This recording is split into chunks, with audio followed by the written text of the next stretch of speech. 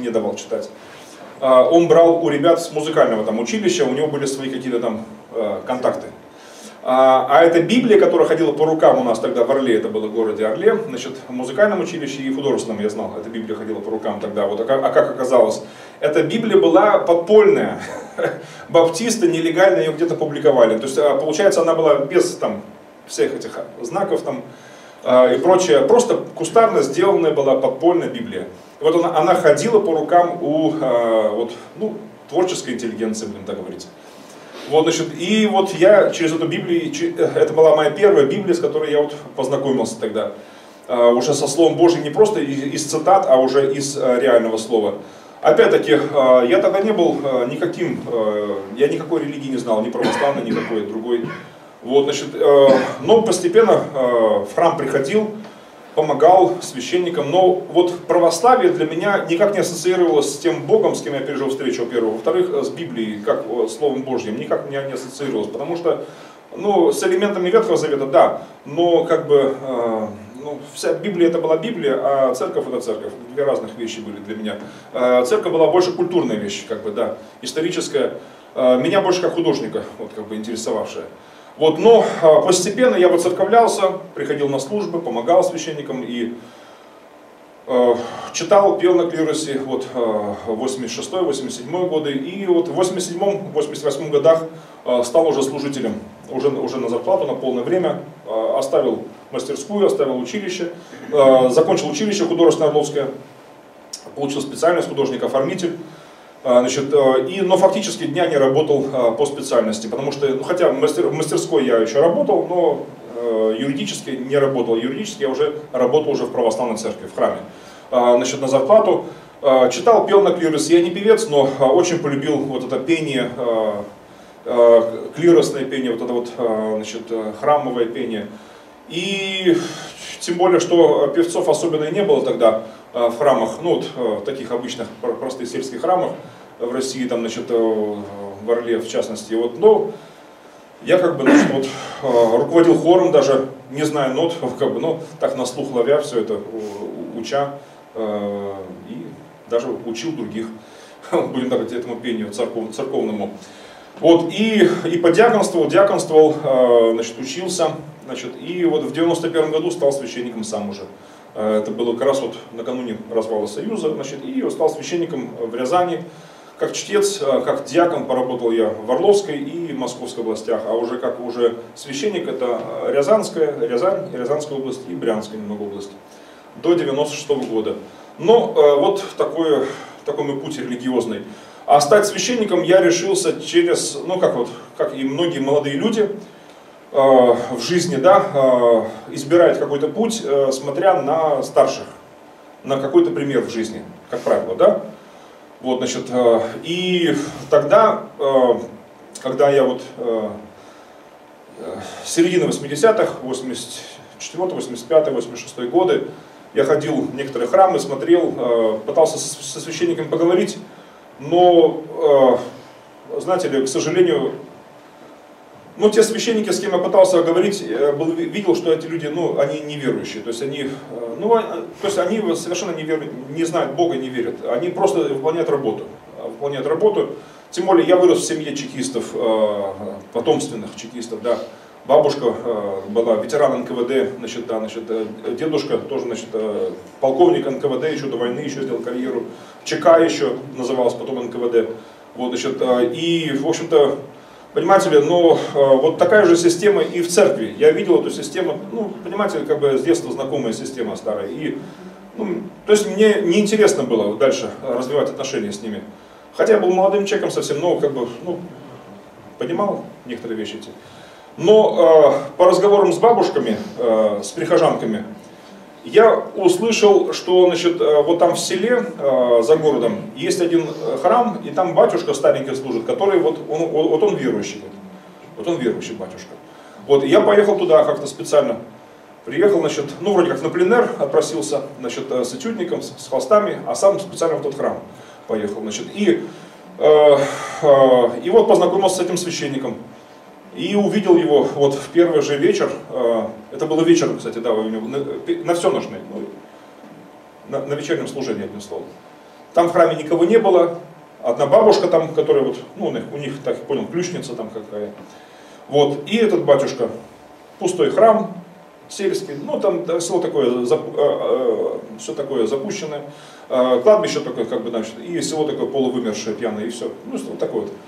Э, и ну, для пленера хорошее место, как бы, да, для пленера хорошее место. Вот, значит, э, грязющая такая, все так грязяка, ну, живописная грязь такая. Вот, значит, мне это нравилось, для пленера нормально. И вот на вечернее служение попал туда, в храм. Значит, и, э, и вот, значит, вижу этот священник пожилой, вот он, как он молится, на коленях, там плакал, он, видно, что он, он перед Богом молится, он, он, э, хотя пустой храм никого не было, и там одна бабушка только вот, значит, вот, которая вот такая глухая, слепая, такая сама по себе живет, значит, там. Вот, значит, и он, значит, молится перед Богом. И я видел, что он такой искренний человек такой. Мне очень понравился. Вот пример его очень сильно мне понравился в жизни. Я увидел контраст очень большой между теми священниками, кого я знал, значит, э, людьми далекими от веры, значит, и вот, и вот этим священником. И я стал туда приходить э, постоянно ездить э, в это село, значит, и, знаете ли, вот вроде как на пленера все время отпрашивался там, значит, туда, вот, а, значит, ну, порисовать что-то, вот, пописать, значит, а так, в общем-то, э, ну как, это, это черта, черта города, но это уже как бы считалось уже так, сельской местности. Вот, но ну, такое же очень живописное, село Лепешкино называется, э, Орловской области. И вот, значит, и, да, вот так вот. И вот пример этого священника, он меня на, э, в жизни направил.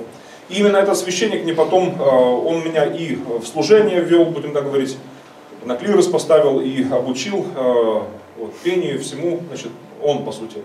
И, значит, э, и в семинаре мне он рекомендацию давал, значит, и, в общем-то, на рукоположение э, и прочее. То есть, как бы этот священник, он дал мне путевку в жизнь такую. И мне захотелось самому стать священником именно через него, через пример этого священника. Вот, вот так, как-то так. Хотя э, был конфликт, э, конечно, с семьей, э, когда я объявил, там, в, в начале 88 года уже окончательно объявил, что маме, папе, семье, что, значит, что я оставляю карьеру, священника, э, карьеру художника, вот, значит, и э, избираю другую стезю, буду в церкви.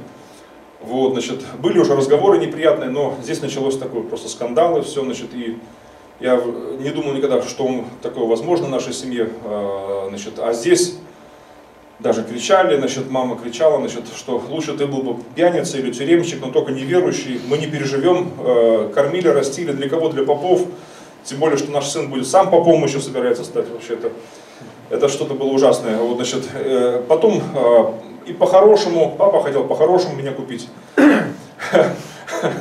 исполняя мои мечты заветные, вот, я мастерской, купить мастерскую мне, не просто уголок, как меня раньше был там ютиться, с другими художниками, а отдельная мастерская, вот, э, Жигуленок, ну, не новый, но э, почти новый Жигуленок, значит, там, но с одним условием, э, ключи, да, все, только, пожалуйста, в церковь не ногой. А потом даже, даже на компромисс пошел, даже ходи, но только чтобы это не было, не мозоль там никому глаза. Вот пришел, сам где-то постоял и ушел, то есть как бы, ну, только для себя, чтобы это не было связано никак там с твоим этим служением. Вот, только занимайся вот чем ты занимался раньше. Ну а потом, когда видят, что уже ни в какую, то уже ультиматум был уже либо мы, либо, либо семья, либо, либо твой Бог, все. Вот. И потом отрекались от меня даже, и уже как бы родственникам известили, что наш сын умер, то есть я умер. Вот, значит, э, что, значит, э, все, значит, да, как-то так было. Хотя время уже было перестроечное, но как бы, ну, мои, моя семья была настроена очень агрессивно против э, веры любой религии, абсолютно любой. Вот, а потом мама говорила, почему ты не в мечеть пошел, допустим, и не в синагогу, почему вообще в храм, туда поперся в храм какой-то, в христианскую церковь. Я говорю, ну мам, ну у нас, во-первых, нет ни мечети, ни синагоги, я, может быть, ходил бы туда бы, сюда бы, зашел бы даже ради интереса, но у нас не было ничего такого. Ну, ладно, Вот, но э, дело в том, что да, значит, э, э, служение, э, я не, не мог себе представить уже просто себя без э, вот, служения Господу.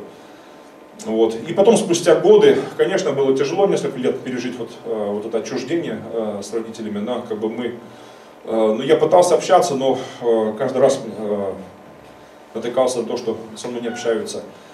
Вот, наш сын умер, сразу мама говорила, наш сын умер, все. Вот, у нас один только остался, младший сын, все. Страшно, конечно, было пережить это. Вот, э, для подростка, это вот, ну, для юноши, для молодого человека это было ну, тяжело очень, э, будем так говорить. Но спустя годы э, родители сказали, потом уже и мама, и папа приезжали ко мне уже на приход, уже будучи священником, я был уже, 91 год уже был. Вот, и родители потом говорили, что слава Богу, ты нас не послушался, вот пошел по этой стезе. Вот, слава Богу. И они тоже крестились, кстати, оба крестились, и мама, и папа крестились в храме, вот, ну, там, там же в Лепешкино, в этом храме потом, значит, э, да, и, в общем-то, сделали шаги такие к Богу.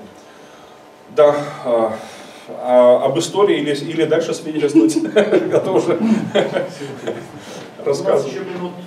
15 есть. Да, может быть, еще есть какие-то вопросы именно по истории христианства, да. Вот по истории тоже да. вопрос. Но я как бы не смог ответить своему товарищу внятно. Значит, он сказал, что вот, э, ну, согласно Библии, Земле нашей 6 тысяч лет, ну, чуть больше там. Да. Э, а если вот брать по науке, то там 4 там, с половиной миллиарда там где-то. И вот он мне говорит, вот ученые, когда делают раскопки, они же там делают анализ какой-то и так далее, что Земле там, ну, или тому предмету там 100 тысяч лет, например. Ну да. Он говорит, э, как тогда расходится это все с? Да, если по Библии, то э, Земле нашей 5778 лет. Вот, если брать вот библейские исчисления, от Адама, если э, 5778 год сейчас идет. Вот, э, в летоисчисление от Адама. А, да, и я сам не научный человек в этом отношении, но а, с удовольствием послушал программы, вот, и вам рекомендую их. Вот, и вашему товарищу тоже рекомендую. А, Кеннета, Кентховен, Кентховен. Программы, посвященные как раз креационизму, сотворению Вселенной. Кентховен, он очень так вот научно, но очень популярно объясняет именно как раз вот эти вопросы, как ученый человек. Э, и также есть еще программы очень хорошие, э, рекомендую, э, Кеннета Копленда и Карл Ба. Это программы еще старые, еще Кеннет Копленд там молодой совсем. Вот, значит, старые программы, но есть в русской вот озвучке вот те старые программы. По-моему, еще 70-х даже годов где-то, или начало 80-х. Если, я, я понял так по записи. Вот, значит, те старые-старые программы. С Карлом Ба, который является директором, тогда являлся Института сотворения Вселенной вот, и креационизма. Вот тоже очень интересные такие исследования. И вот, судя по этим вот данным многочисленным, вот, э, научным тоже, э, Земле не старше 6, нет старше 6 тысяч лет наш, нашей Земле по этим исследованиям. Вот, значит, и, в общем-то, углеродный э, метод э, они критикуют, в общем, значит, в общем-то, всячески. Вот, значит, э, и многие другие методики, э, которые популярны э, в современной науке. Как-то так. Я, я лично, а, я художник. Я больше а, воспринимаю, знаете, вот информацию так вот, в образах таких.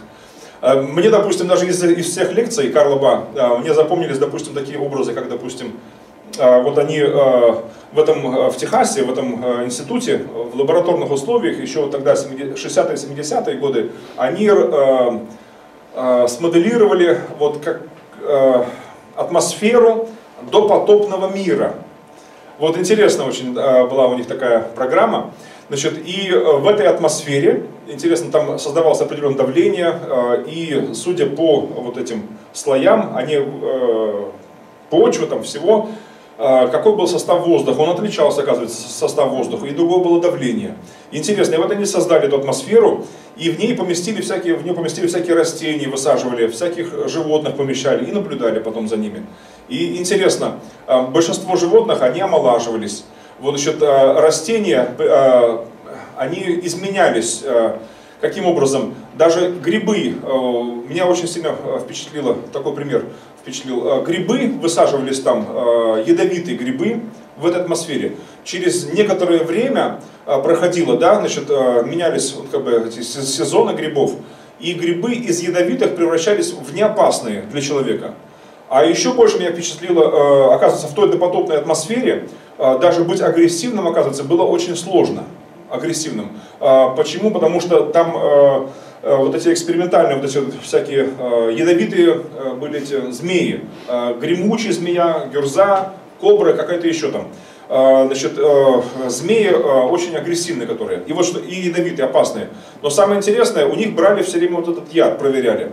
Вот через некоторые поколения, проживавших там, в этой атмосфере, вот этих змей, оказывается, их железы, вот эти вот, он объяснял, яд, они вырабатывали это вещество по-прежнему, но это вещество было уже не опасно для человека, а, а даже наоборот, даже полезно, вроде как пенициллина что-то действие похожее. Вот, то есть в, то, в допотопном мире я мог бы Гадюку попросить, пожалуйста, укуси меня, значит, там. вот, о, спасибо, значит, или, или что-то еще. И, или мог бы э, э, сварить себе э, суп из мухоморов и за просто так поесть, значит, и, и хоть бы что, и закусить бледной поганкой, вот, значит, э, за место здрасте. Вот, значит, в том допотопном мире, оказывается, все было иное. То есть даже вот э, сегодняшние вот эти вот Э, агрессивные. А, еще, почему агрессивные? Э, вот эти э, змеи, да, реагировавшие изначально как бы агрессивно на вот, ну, сбор, они просто так понимают, их там сцеживают яд этот, да, вот еще не просто так у них забирать этот яд. Но самое интересное, через некоторые поколения у них там э, изменялось, агр... они не стали агрессивными, они не нападали уже, то есть вот в чем дело. Вот. Что-то еще там было интересное такое. Ну, вот это самое, наверное, впечатляющее для меня было. Человека не помещали туда? Нет, кстати, нет. Интересно. Вот, вот интересно было бы, да. Наверное, такой уже был, был бы такой альтруист такой, да. Я не знаю, но было бы интересно, наверное. Но э, я представляю себе, это э, до греха, э, ну, уже после грехопадения, но уже еще до потопа такая была атмосфера. Кстати, они там запатентовали многие открытия, оказывается, и которые помогли им потом иметь постоянное финансирование э, этого института. В том числе, благодаря их открытиям, э, вот, э, вот это выращивание, вот ныне в Японии, допустим, вот этих кустов этих, которые растут не в ширину, а в высоту, вот эти вот э, э, с томатами черри, э, там еще с чем-то, э, с одного куста собирается столько э, вот этих вот э, всего, да, плодов, сколько с целой плантации, обычной плантации, с одного куста собирается, который растет в высоту. Значит, э, и это удивительный эксперимент, э, который вот как бы благодаря вот их открытиям э, стал как бы ну, реальностью, будем так говорить.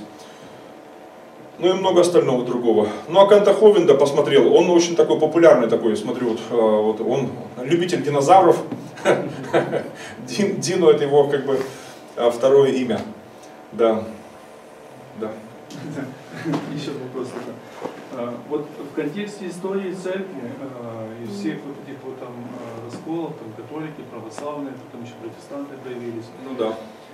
Как вы думаете, вот какой должна быть современная церковь, чтобы она соответствовала вот тому самой правильной церкви, да, то есть ну, Потому что ведь вообще и протестантизм сейчас он набрал, ну, стал таким формальным, э, каким-то обрядным, да, то есть все действуют по одному формату служения. Там, угу. вот. Ну, а, своя культура сложилась. Да, какая должна быть, вот, чтобы это была ну, живая церковь, что это, как, как вы видите это? Вот, вот та самая церковь, о которой говорил Бог. Я не знаю. Ще, ще до цього можна додати?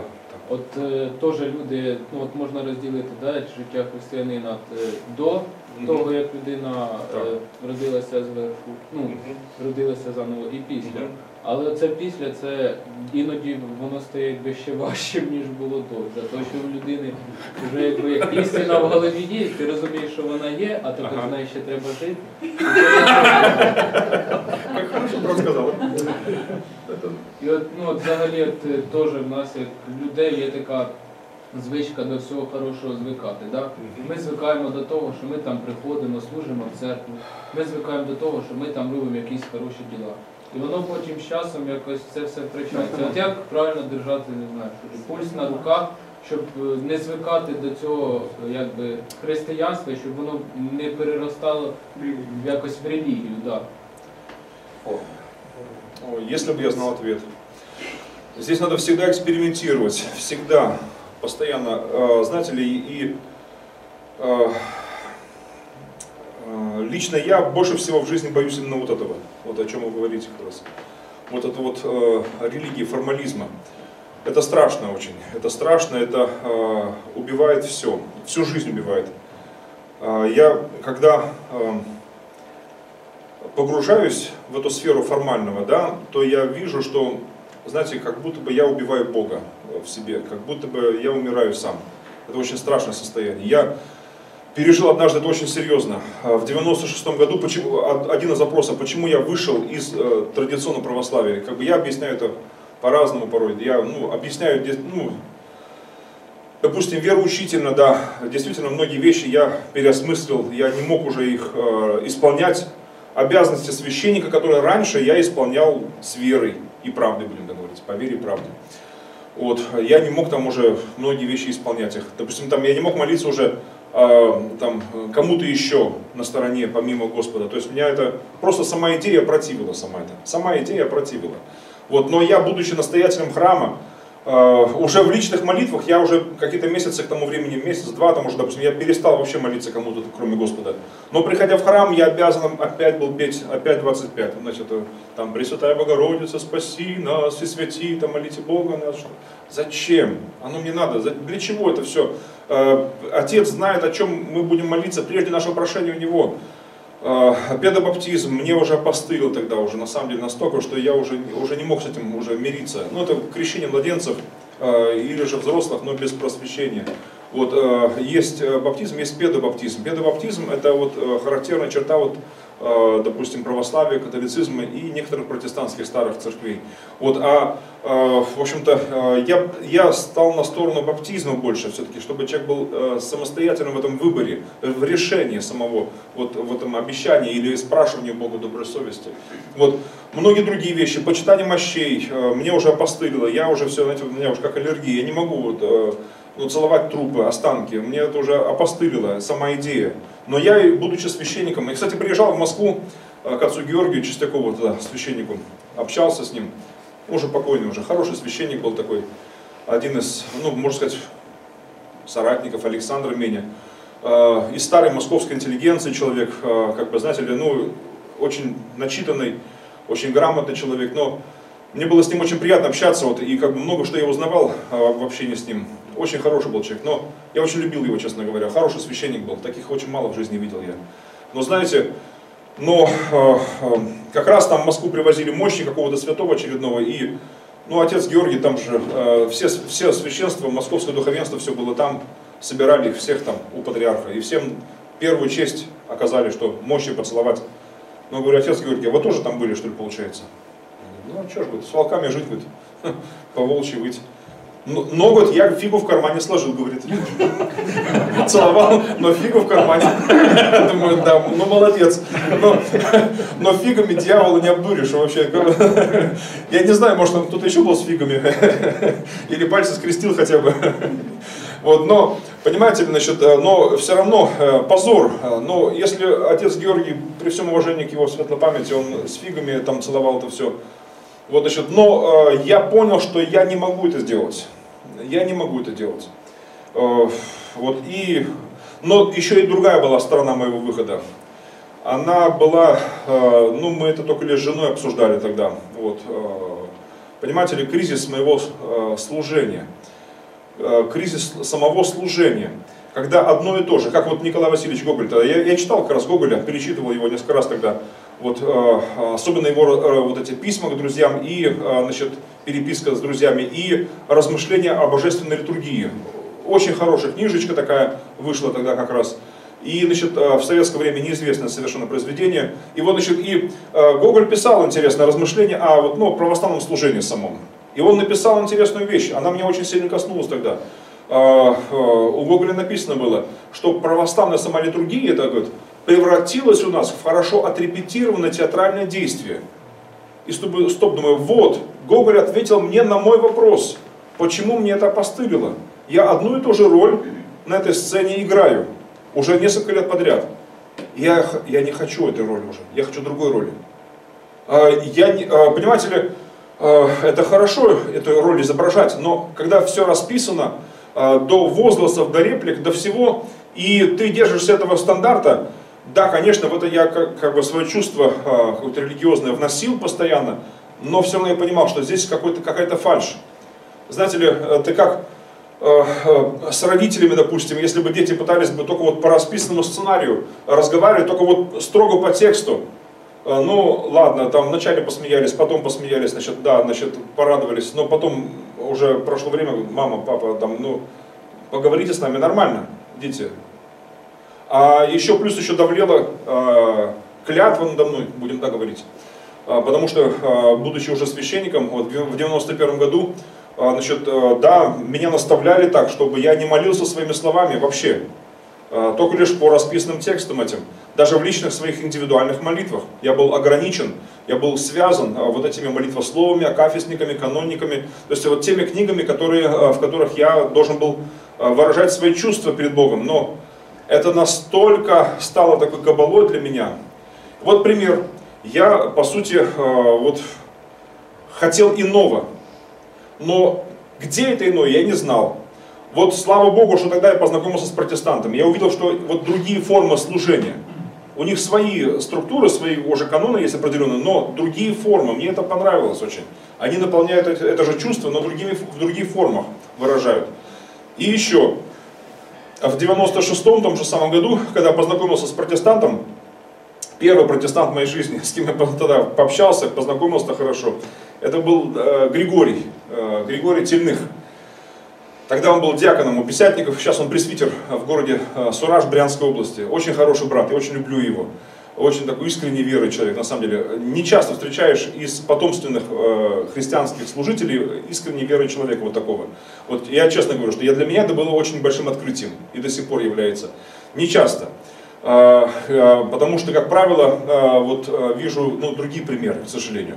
Так вот, и с Григорием мне познакомилось, э, довелось познакомиться так вот, э, вроде случайно. Он подошел, вопросы задавал туда-сюда, на рынке, возле рынка. А я был в рясе, с крестом на груди, батюшка, такой миссионер такой, знаете, значит, очень активно, я там проводил всякие занятия, встречи, там, значит, там, значит, там и в военкомате, значит, кстати, и там, значит, и Э, в больницах постоянно раз в неделю, э, строго у меня было служение в больнице, э, в, в, в, в разных отделениях больницы, значит, там и в кинотеатрах там проводил, в ДК проводил, там показы фильмов показывал, там, значит, там, значит, там и э, лекции проводил. То есть, ну, газету, был редактором первой газеты тогда церковной, так называлась церковь она, эта газета. Вот, э, православная миссионерская э, передвижная библиотека была у нас своя, значит, э, то есть как бы жизнь кипела такая, религиозная, бурлила. И вот этот, э, и я привык, что ко мне многие подходят, и мы общаемся. И вот, но правда я в основном тогда нес и старое, и новое, все. Наученный книжник царству Божьему он учит всему подряд, знаете, и хорошее, и плохое, все нес подряд. Вот, и он меня спрашивал о том, о сем, вот, и я думал, он просто обычный православный, любопытствующий, но вижу, такой грамотный человек, вот, интересующийся такими хорошими подробностями. Правильный вопрос, как в еврейской традиции называется Талмедим Хахаим, то есть э, задающий много вопросов, вопросов правильных, заставляющих учителя думать. Вот, значит, и, и интересно, а, а оказывается, он протестант, он сам себя сдал нечаянно, из Библии процитировал большую цитату, довольно пространную. Э, я-то знал, что это из Библии. Я понял, наши люди Библию не читают. Думаю, что-то здесь не то, думаю. Я его спрашиваю, Гриша, а вы христианин? Он говорит, да, говорит, христианин. Я конкретизировал, знаете, как Ленин на буржуазии, на него там православный, говорит, нет, говорит, христиан веры евангельской, пятидесятники. Короче, я там чуть не упал. Это же даже не баптисты, думаю. Я еще в советское время помню, значит, в семинарии э, у нас Генрих Боровик, тогда известный человек, э, международную панораму вел тогда дядька, он у нас тоже преподавал в Загорске, приезжал в Загорск на, на эти лекции. Э, прожектор, потом, нет, а международная панорама программа называлась, вот, популярная в то время как раз, самый был пик, пик популярности его. Значит, и он приезжал к нам в семинарию, тоже так раз так вот руки и давай нам рассказывать о моральном облике советского священника. Что мировой империализм, значит, там, значит, там, значит, два этих э, сатаны, короче, Израиль и, значит, Америка, они только и хотят слопать нашу советскую родину. Вот, значит, и по поводу сектантов он однозначно сказал, баптисты, писятники, это все вот, в основном через одного, это агенты Массада и ЦРУ, и, и мирового империализма, через одного. А через одного просто психи. Вот, значит, а, вот он очень довольно так радикально а, размежевал всех. А, по его мнению, баптисты это были тихие сумасшедшие баптисты, а писятники, которые буйные. Но в принципе это все была одна палата. настоящих буйных мало. Вот. Вот. Ну, как бы, это уже харизматы, как бы. Вот. И, значит, и э, вот интересно было, значит, ну, тогда, тогда еще не было харизматов, но писятники такие радикалы, как бы, и, иностранных, раз, иностранная разведка, мол, засылает нам таких уже, вот, э, самых таких радикальных, таких уже экстремистов. Вот, значит, на Кавказе вы, они тогда выловили еще в 88 году, оказывается, какого-то там э, с Финляндии, что ли, какого-то там делегата, который там, значит, там стал танцевать там на, на сцене, где-то еще там, его, короче, повязали там КГБ Грузии. И нашли его особенно опасным вообще элементом. Значит, и Генрих все это рассказывал, Боровик, значит, все это а, разъяснял нам. Вот, а здесь я вживую, в 96-м вижу пятидесятника, ну, я, короче, значит, стал ну, защита в нападении. Я точно по сектоведению я вынес урок такой хороший. Защита в нападении сразу. Какие же вы христиане, говорю, креста на вас нет, святым не молитесь, мощей у вас нет, Матери Божьей не почитайте. Короче, ой, я все ему наговорил, Гриша стоит, ну вроде как бы, ну вроде как да, извиняйте, как бы да, действительно, нет, нет этого. Вот, но я пожалел его неопытность. Думаю, наверное, он просто недавно попал в эту секту, а нам говорили, что первых полгода процесс обратимый еще. Я не знал, что он вырос потом вообще. Я ему дал книгу даже прочитать, э, такую, знаете, подрывную литературу свою дал, православную. Э, называется э, «Земная жизнь Пресвятой Богородицы». О, Думаю, примет Богородицу, Божью Матерь нашу, заступницу усердную, рода христианского, все, наполовину нашу уже точно уже. Вот, а дальше вопрос техники. Значит, и, э, и пока я в такой эйфории, думаю, вот, наконец-то, как бы вот, сектанта, э, да, значит, обличил, он из своих сектантских штанин достает свою литературу подрывную и мне предлагает, говорит, батюшка, я вашу почитаю, а вы мою почитайте. Я там даже не смог даже запечататься не успел, короче.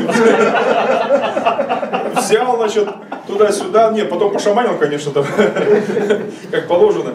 Вот, значит, э, мы таким образом обменялись литературой. Вот, значит, и э, я, кстати, так и не спросил, читал ли он мою книгу. Но его книга произвела на меня, на меня огромнейшее впечатление, огромнейшее просто, действие просто бомба реально. А, э, это были, э, была книга Людмилы Плет э, из ее трилогии, вторая книга ее трилогии, называется «Время начать суду с Дома Божьего». Это проповеди немецкого проповедника Эрла Штегена в Южной Африке на квасе за банду миссионерской станции. Я потом прочитал всю трилогию позже, но вот эта вторая книга как раз именно посвящена служителям церкви, служителям, вот, пастырям, служителям, священнослужителям.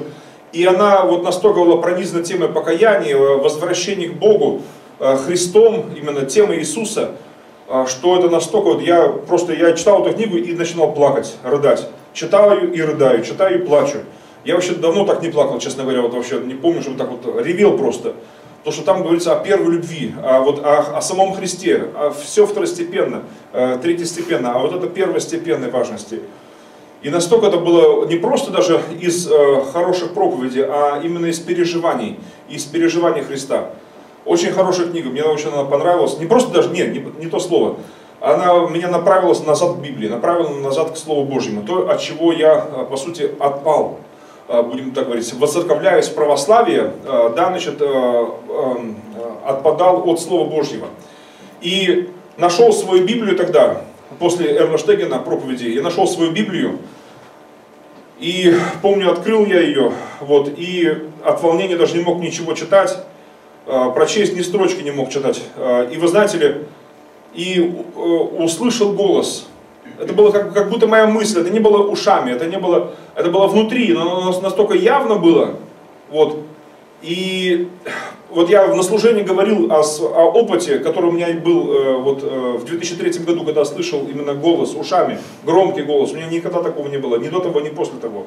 Вот. А, но были, как и у всех верующих в моей жизни, в моей практике, вот то, что как мы называем как голос Бога, но это как будто моя мысль, но это явно не моя мысль, она внутри меня. Как будто вот мысль, но это явно общение Его. И эта мысль была такая интересная, внутри звучала как будто бы тихо, а, как, как, и, и внутри меня, и вне. А, ну, вы понимаете, наверное, да, вот. А, и звучало так, Сережа, не отец Сергий, ваше преподобие, батюшка, ну хотя просто Сергей хотя бы, ну, Сережа, это было так, Э, Дело в том, что э, это никто не знал. Только лишь он и я. Это было раньше. Э, Последний раз мы так называли друг друга, наверное, еще в 86-87 годах. В 87-м, наверное, до того. Последний раз. Я называл его папочкой своим, папой, папочка, а он назвал меня Сережей. И я это никому не говорил вообще. Я говорил некоторые вещи на исповеди там, в православной церкви, там, что о своем опыте духовном некотором, о сом- сомнениях, но об этом не говорил даже исповеднику, даже на исповеди. Понимаете ли? Даже жене не говорил. И вдруг э, он меня снова называет, спустя эти годы, снова называет Сережей. Он меня помнит, он меня не забыл, он помнит. Я его снова назвал папочкой, снова назвал папой. Вот это было ну, незабываемо. Я попросил прощения, конечно. А, еще, я же не все сказал. Сережа, посмотри, еще было сказано. Посмотри. А я не, смотрю в книгу и ничего не вижу от волнения такого. Почему тебе было все хуже и хуже? Вот как эхо такое. Ты старался больше и больше, а было все хуже и хуже. Вот так вот как бы. Я, я только слушаю ее, прислушиваюсь, я не могу ничего даже сказать в ответ. И пауза такая. И мне ничего сказать ему. И он ничего не говорит дальше. Мысли это нет, она не продолжается. И потом через, через некоторую паузу продолжается. Потому что слово мое, оно ушло из твоей жизни. И все. Откуда пришла эта мысль, откуда не пришли слова, куда ушли, кто его знает. Но я понял это как в разговоре тогда. Я понял это интуитивно, как в разговоре сейчас. Он сказал, но он сейчас ждет, как в разговоре, знаете, вот э, от тебя что-то, твое слово, а ждет. Я понял этот вот момент истины, я должен что-то ему сказать. Ну, конечно, во-первых, я попросил прощения. Э, Это было правда на самом деле. Вот формальное слово это не ушло из моей жизни, конечно. Я служил, и каждый, каждый день тексты из Писания были, значит, там, и я их пел на, на распев, и все. Но фактически это было правдой, это было истинной правдой. Его слово, как Рэма именно, оно ушло из моей жизни. Я не жил этим. Я, конечно, попросил прощения. И я сказал такие, между прочим, такие слова, назвав его снова неформально, не отче наш, там, и же Иси, там, нет, а просто по-свойски, папочка назвал, папа его. И я сказал ему еще такие слова снова, что э, безопаснее, я сказал, слишком много в церкви для меня разных учений, потому что в православии столько много разных учений в церковном православии, в которое я погрузился тогда, э, и погружался все больше и больше в святоотеческие предания, изучая отцов церкви, и видел в учении этих отцов взаимоисключающие вещи настолько, что они просто, э, ну скажу так, даже порой эти отцы, жившие в одно время, в одну эпоху, даже э, друг другу не только противоречили, вообще даже друг другу отказывали в праве на- называться христианином даже. На- настолько далеко заходили их противоречия. Как, допустим, Нил Сорский и, э, и- и, э, Иосиф Волоцкий. Один из конфликтов таких. Я изучал и того, и другого отца. И тот, и другой святой. Э, часть предания православного, но диаметрально противоположные были учения по всем пунктам фактически вообще не состыковки. Э, У одного как бы одно христианство, у другого другое христианство. Но и то, и другое считалось православным, церковным, святым преданием. Вот это да. Я завидовал порой, искренне завидовал простым бабушкам, которые не, не знают этих учений, этих отцов. Просто и тому свечку поставят, и тому свечку поставят, и сему, как бы, и пятому, и десятому, и все. А Думаю, да, думаю, святая простота. Вот, но, а, знаете ли, а, а здесь, думаю, да, умножается познание, умножается скорби, думаю, точно. Думаю, ну, ну ладно.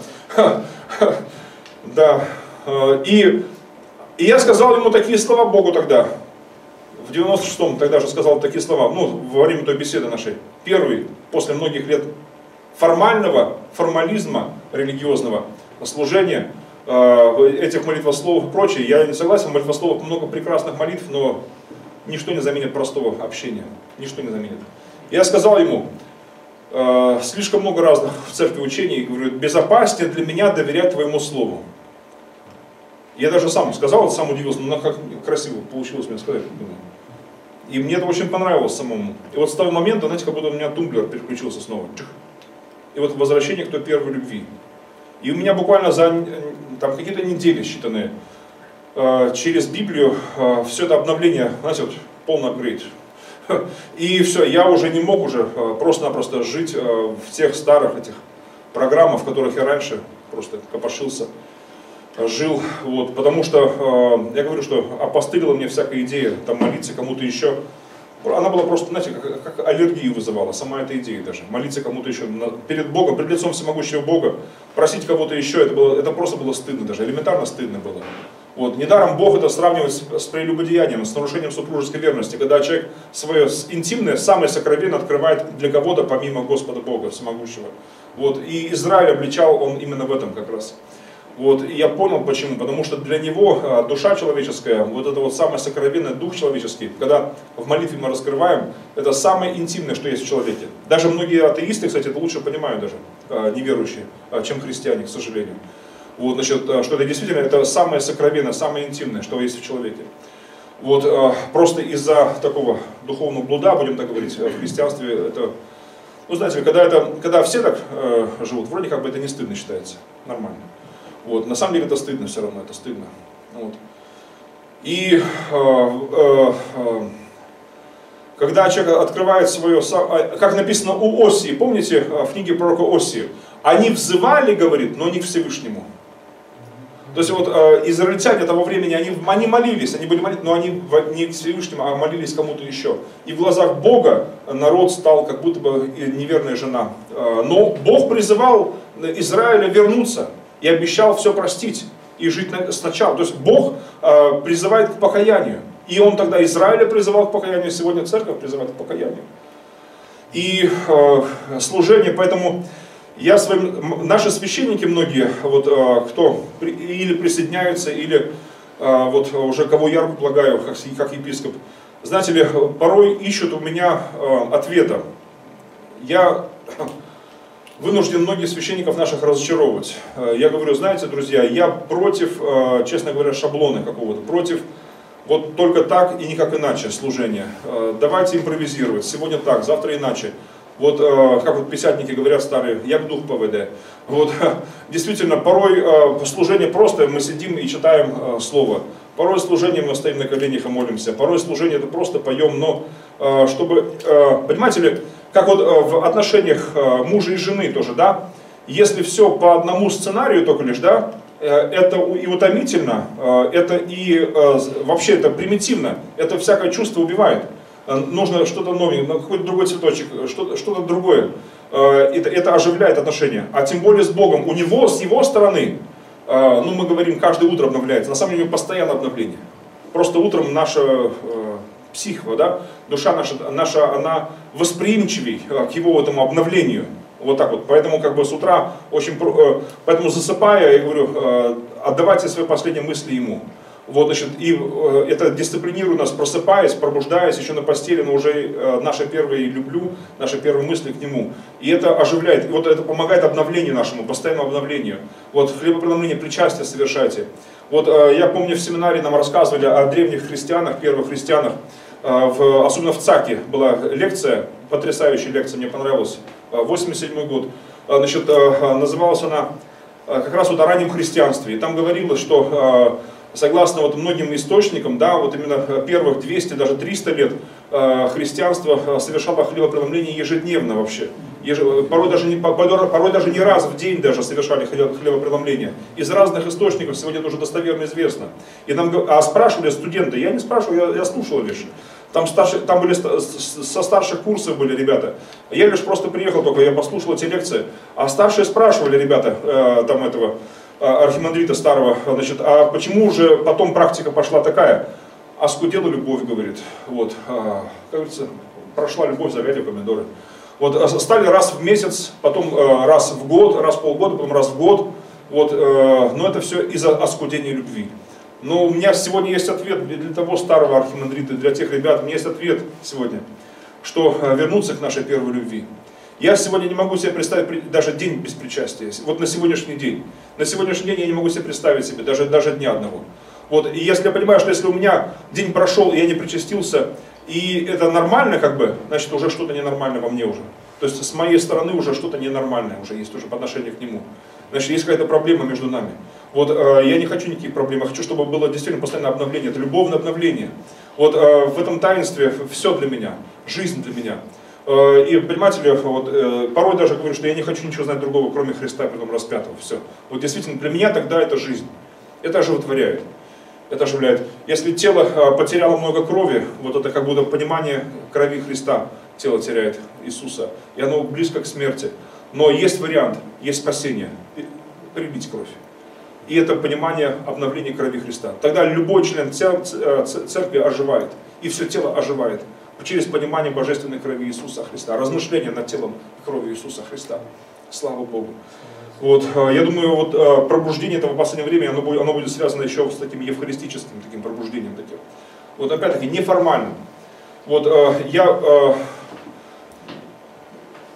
есть рассказ такой, «Деревенская дурочка» называется. Значит, э, в 91 году его как раз публиковали э, в церковной газете тогдашней. Вот, и я читал на приходе этот, этот рассказ, он мне очень сильно запомнился. Я старался каждый раз э, прихожанам что-то зачитывать из этих рассказов, публиковавшихся тогда.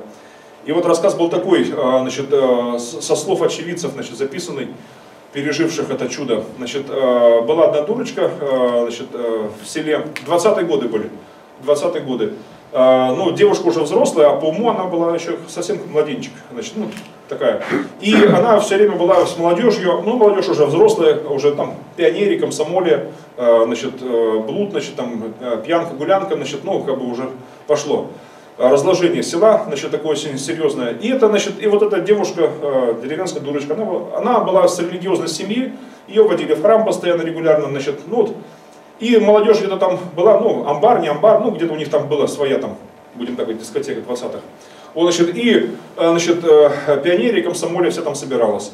Вот, значит, местное безбожие там отворилось уже. И вот, значит, и представляете, значит, и решили над этой девушкой подыграть, э, подшутить. Один там нарядился вроде как мешок какой-то, вроде как батюшка.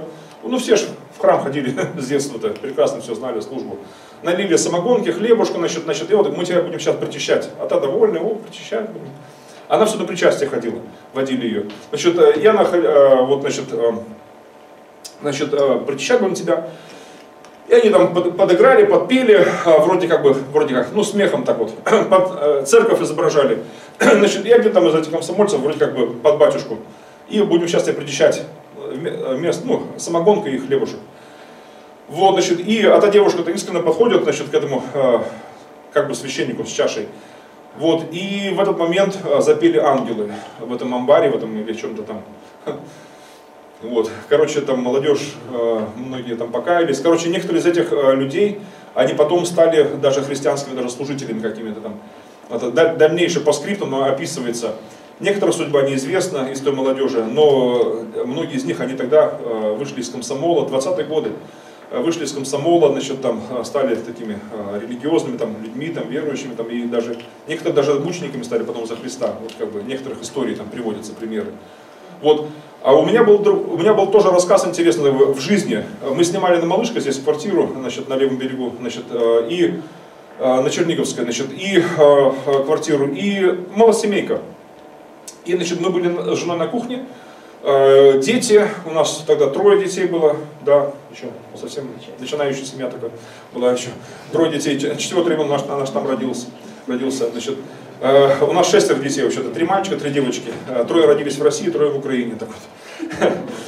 И э, интересно, что значит, вижу, дети таскают, а мы купили как раз там на, на рынке юности, купили молока, значит, привозили там значит, частники, и значит, пряников, очень хороших таких мягких пряников. И дети таскают молоко и пряники туда в комнату. Я там, ну, просто видел, что, что они там как бы, таскают туда молоко и пряники. Они там сделали э, игру, службу такую, рассадили, прихожане все были там эти куклы, медведи всякие. Ну и там э, наш э, сын тогда, Серафим, сидел вместе, ну он такой, без штанов там, сидел прихожанин вместе с куклами и с медведями сидел прихожанин там. Коля, старший сын, он там изображал как бы вроде как проповедника, ну, Библию квартамашками, правда, начал, ну, еще, совсем еще маленький, значит, а Настя там постарше, она самая заводила у нас была, значит, она, она значит, вроде как там, организатор всего этого мероприятия, ну, в причастии играют. Ну, меня увидели, ну, папа, о, заходи тоже с нами, как бы, ну, причастись, как бы. Э, ну, пряники и молоко у них там, значит. Ну, я так, ну, игра, думаю, ну, ладно, хоть так вот, ну, игра-то, ладно, игра. Я сел, первый раз был в кукольной церкви вообще. Э, честно говоря. Сел среди кукол и медведей, значит, сижу, значит, прихожанин такой, да. Вот, значит, они там что-то помолились, там, значит, эти э, пряники, это молоко. Вот. Но самое интересное, знаете, вот э, я вначале вроде как смехом, вроде как, ну, думаю, они там просто играют. А оказывается, это было действительно было причастие. Вот. И я пережил так сильно вот тогда это причастие, что я говорю, я в своем христианстве редко э, вот такое переживал вот, за эти годы. И, знаете, я был потрясен Богом настолько сильно тогда, в тот день.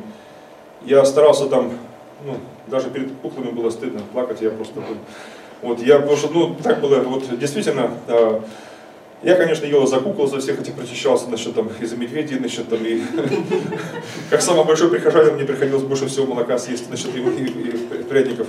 Но, насчет, но, но, знаете, вот, вот это причастие, для меня, я знал, что это Бог, и реально Христос в этом присутствовал, в этом кукольном э, собрании. Но, знаете, я понял такую вещь, э, мы причащаемся не устами просто или желудками, да, то, что входит в нас, оно не может нас не осквернить э, и тем более осветить.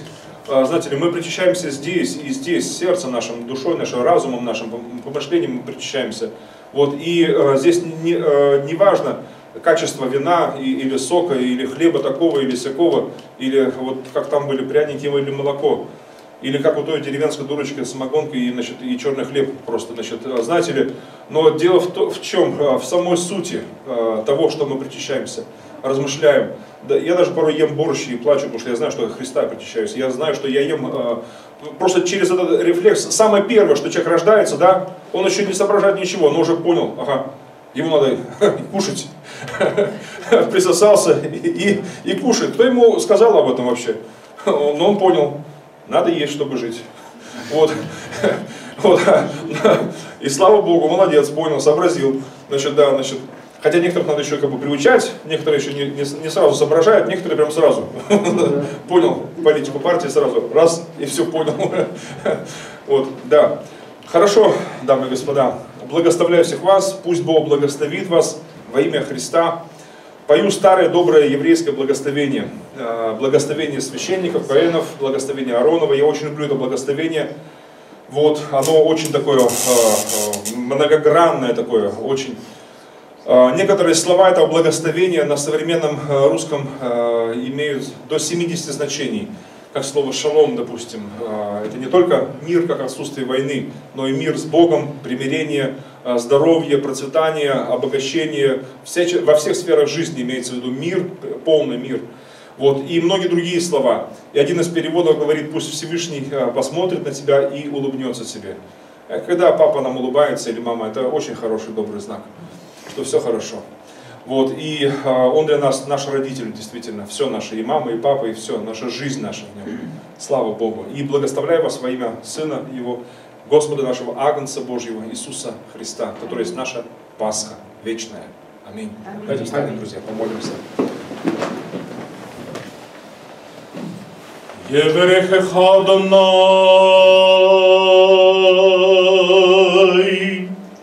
וישמרך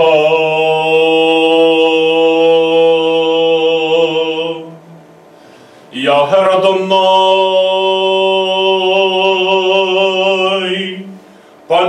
Aleicha Vichunekha Isadonai Panav Aleicha Ve Yaselecha Shalom. Да благословит тебя Господь и сохранит тебя. Да призрит на тебя Господь светлым лицом своим и помилует тебя. Да обратит Господь лицо свое на тебя и даст тебе мир.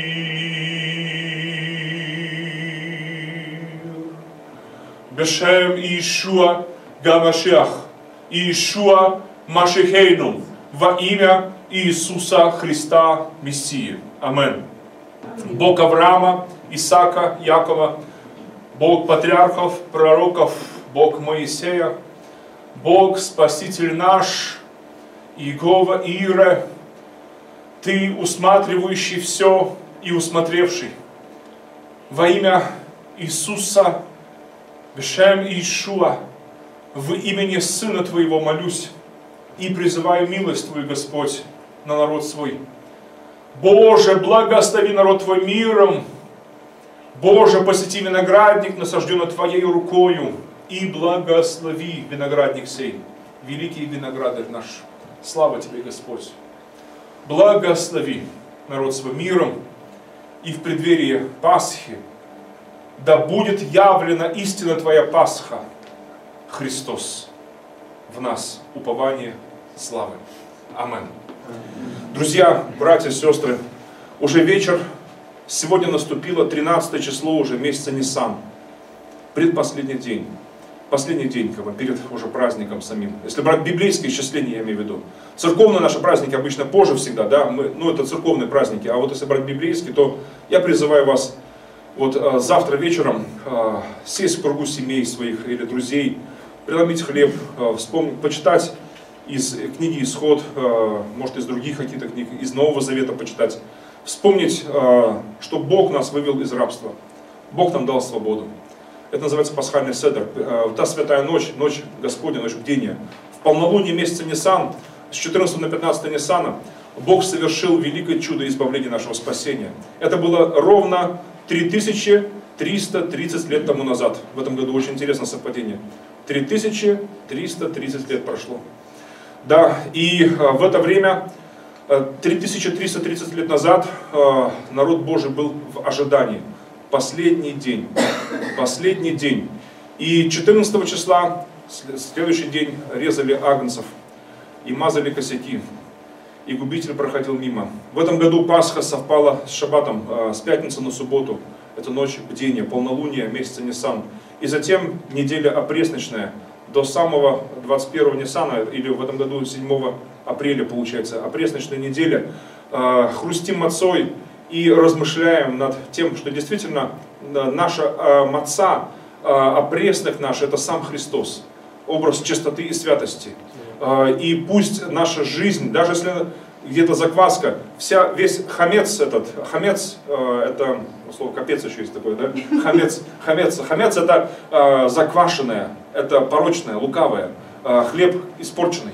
Вот, значит, а, но пусть не хамец, а маца будет в нашей жизни. Аминь. И это только лишь Богу возможно. Да будет так. Благословляю всех вас во имя Христа. Аминь. Аминь.